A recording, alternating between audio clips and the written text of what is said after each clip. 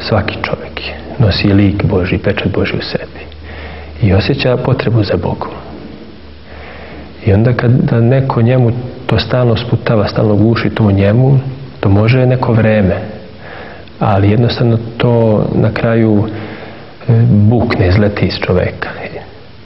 Kao što je u našem narodu to činjeno, jedan duži period, stalno je to gušeno, potiskivano, ali jednostavno to je u narodu sazrelo, jednostavno izletela iz naroda ta potreba za Bogom. Iz dubine bića našeg naroda. I onda se desio taj talas, recimo, ajde kažem, već krajem 80-ih, ali i početkom 90-ih mladih ljudi koji su odlazili u manastire i uglavnom su zadisali starije monaštvo bez te srednje generacije. E sad ti stari monasi, znači neki su je povukli, neki su je pokojili i onda je nastalo vreme kada su ti mladi monasi morali da preuzmu upravo u manastirima.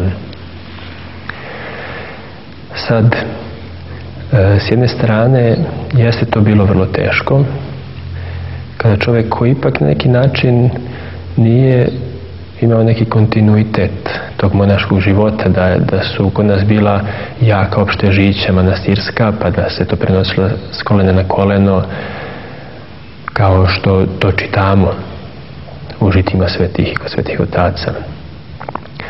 Ali opet, e, kad čovjek shvati da je sve to opet po Božijem promislu, onda se pouzda u Boga da će mu Bog i pomoći.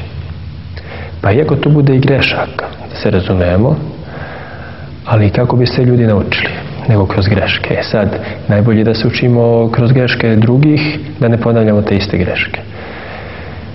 Ali ja koliko vidim da ipak to novo monaštvo mlađe uspjelo da iznese taj krst, taj teret. Tako da mi danas imamo e, dečansko bratstvo koje je vrlo jako, sopoćansko bratstvo, koviljsko bratstvo, žičko sestrinstvo i tako recimo hilandarsko bratstvo koje se obnavlja pa onda mlado bratstvo koje je sada u manastiru Sukovo i tako još druga bratstva koja se još uvijek obnavljaju i osvežavaju i koja se proširuju.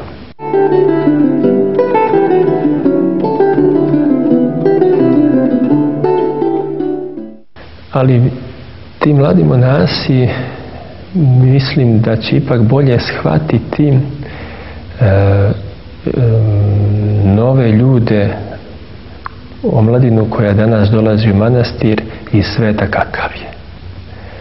Jer stari monasi nisu imali iskušenja kakva mi imamo i sablazne svetu kakve mi imamo i probleme kakve današnja omladina ima.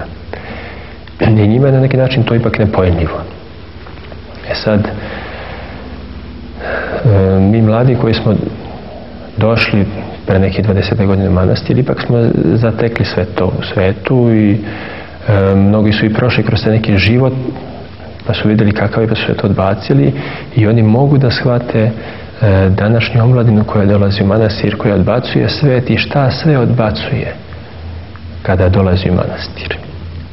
Gubanija iz Vedenja u Čaru, Mati Febronija, to je vrlo lepo rekla. Kaže, mi kad smo dolazili u manastire, kaže, šta smo mi ostavljali? Ništa. Ništa nismo ostavljali, nismo imali ni kupatilo, nismo imali ni televizor, nismo imali ništa, ništa, kaže. Ovaj, iz te strane, kaže, i mi smo nismo nečega mnogo god rekli. Ali današnja mladina koja dolazi u manastir odriče se mnogo toga.